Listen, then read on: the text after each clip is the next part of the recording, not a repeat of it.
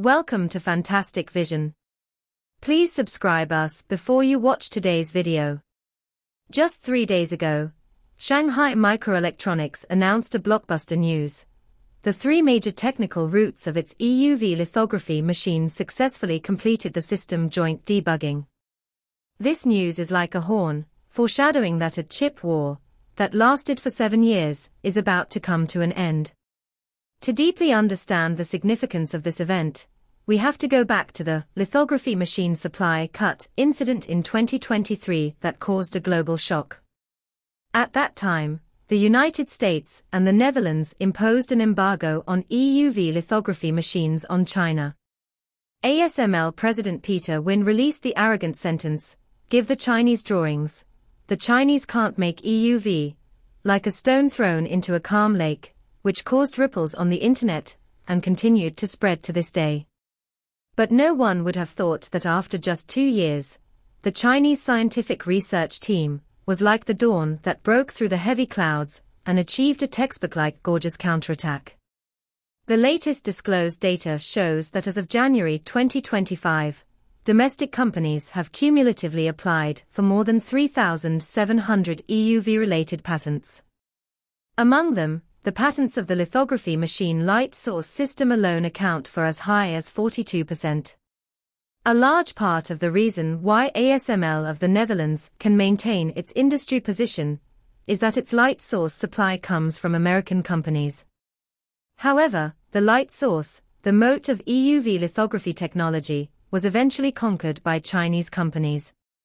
For example, the LPP light source technology developed by Shanghai Microelectronics has already achieved a leading position in the industry. Taking the optimization solution of tin target bombardment alone, the domestic solution can increase the collection rate of extreme ultraviolet light by 15%, and the mirror contamination rate is reduced to 70% of ASML equipment. Under the same power, the cost performance of the domestic solution is definitely higher. What is even more amazing is that ASML took 15 years to complete this technology. The Chinese team iterated a better solution in just 7 years.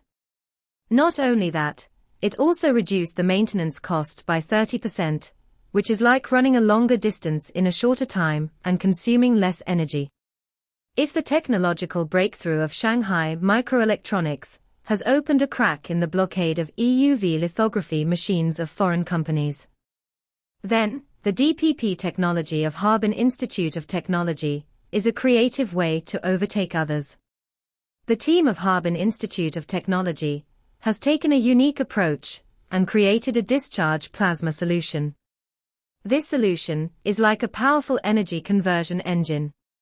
The energy conversion efficiency has soared to 4.5%, which is more than twice that of ASML's laser solution. There are many amazing things about this system, such as its size has been reduced by 40%, the maintenance cost has been halved, and it is also compatible with shorter wavelengths. In the field of chip manufacturing, it is like a light, but powerful elf. Some industry insiders have roughly calculated that if this technology matures, the production efficiency of 7 nanometers chips can be increased by 20%, and the area of the lithography workshop can be saved by half a football field. No wonder the American media, Semiconductor Watch, has expressed such amazement and praised this technology as the key to the EUV 2.0 era. However, when it comes to futuristic results, we have to look at the FEL route of the Shanghai light source. The 28-meter miniaturized free electron laser device carefully developed by researchers at the Shanghai Light Source is simply a shining star of optical technology. It can stably output 250W of extreme ultraviolet beams. This powerful power is like an energy source, enough to support the mass production demand of 30 wafers per hour, making chip manufacturing more efficient. More importantly, this system is like a self-sufficient environmental guardian, getting rid of the traditional EUV's dependence on rare gases. The annual savings in helium procurement alone are enough to establish a research and development center. Even ASML engineers are discussing privately that China's plan is likely to rewrite the technical standards of the entire industry. In terms of the industrial chain, technological breakthroughs are also exciting. Last year, Yangtze Memory's move was like a shot of adrenaline for domestic equipment, cutting off ASML's 30 orders and turning to domestic equipment. The localization rate of SMIC's new 28 nanometers production line has reached 92%, which is a powerful demonstration of domestic strength in the chip manufacturing industry chain. From lasers, vacuum chambers to control systems, almost all parts of domestic semiconductor equipment are labeled Made in China. It is these small labels that have caused China's lithography machine exports to surge by 270% year on year.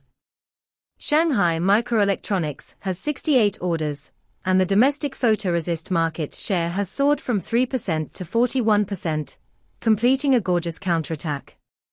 Even more powerful is yet to come. Domestic DUV lithography machines have strong competitiveness. The price is only 60% of the same model of ASML, but the gross profit margin is as high as 90%. It is like a seed with super cost effectiveness. It has taken root and sprouted in the market and has vigorous vitality. Some analysts boldly estimate that after EUV is mass produced, the price system of global lithography machines will collapse by at least one third. This is undoubtedly a huge industry-wide change. The international giants' reactions to these breakthroughs in China are also very real.